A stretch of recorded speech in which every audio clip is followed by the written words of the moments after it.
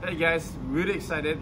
For the first time ever, we're gonna ship our treats nationwide. We're gonna bring it straight to your door.